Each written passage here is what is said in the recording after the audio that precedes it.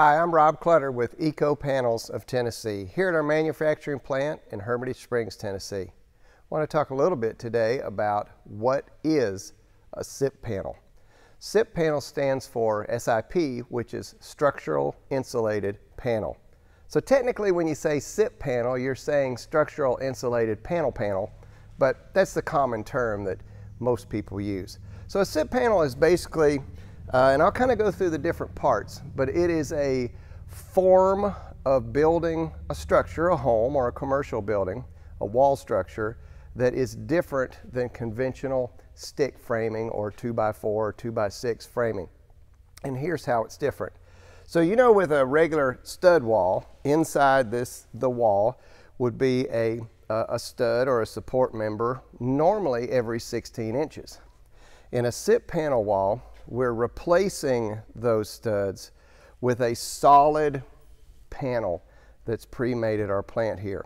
This panel consists of a structural inside covering and a structural outside covering. we'll talk about the outside in just a little bit. The inside covering, as you see here, is an oriented strand board, or what's known as OSB. Now this can uh, be also different things. We can use plywood here and some other materials that we'd love to talk to you more about.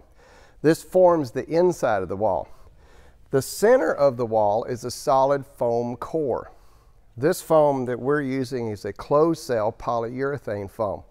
This foam is rated at R26, or this wall is rated R26 for this four and a half inch thick panel question I get a lot is, well, are there studs in there? No, there's not studs in there. This is actually the inside skin, the outside skin, and a solid foam core.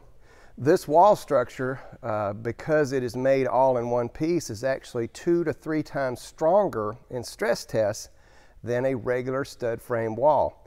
You have a lot less moving parts and pieces here, a lot less chances for there to be air leaks and breakdowns. Uh, so it does form a stronger wall. The big deal is it's much more energy efficient. We don't have any kind of thermal breaks in here where heat can transfer to the outside. So not only is the R value larger than a conventional framed wall, but in addition to that, we're sealing up all the cracks and spaces where air can escape from your home, air that you're paying to heat and cool. Now let's step around to the outside of the panel and we'll talk about that a little bit as well.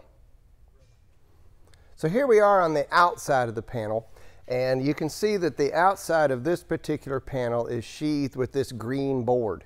This green board is a product made by Huber Lumber and it's called the ZIP system, ZIP. You can look that up on internet as well. What we really like uh, about this particular product is the outside of this is waterproof.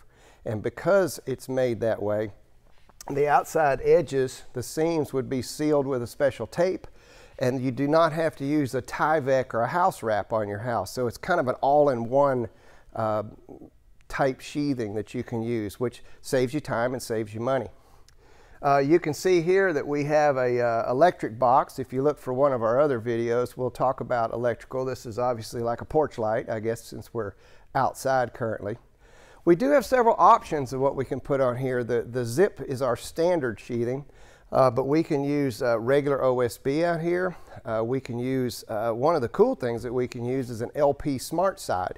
So if you like the board and batten look on your home, uh, we can actually go ahead and put the siding on the outside of the panel when we make it, which again saves you a lot of time and could, could save you a lot of money on your home. If you'd like to find out more about our panels and all the options and different things, we would love to talk to you. Shoot us an email. The email address is info at ecopanelsoftn.com.